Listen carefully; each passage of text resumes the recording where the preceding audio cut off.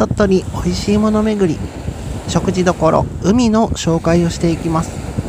鳥取県の中央琴浦町のポート朝崎の横にある美味しい美味しい海鮮料理屋さんとなります。今回は魚の2000円のコースをいただきました。サバの煮付け塩焼きこれがとっても美味しかったんですよね。取れたてピチピチのサバでした。そして煮付けやひじきなど小鉢が2品。そして天ぷら。ご飯。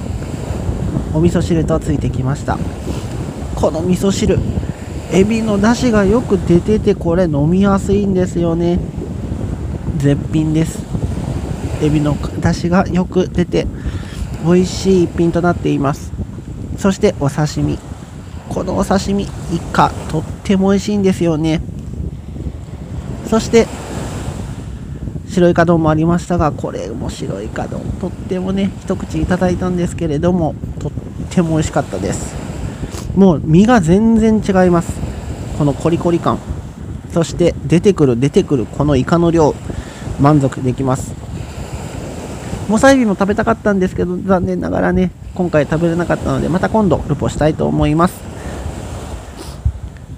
お食事どころ海。国道9号線沿いにある美味しい日本海の幸が食べれるところとなっています。魚の販売もやっていますのでぜひ立ち寄ってみてください。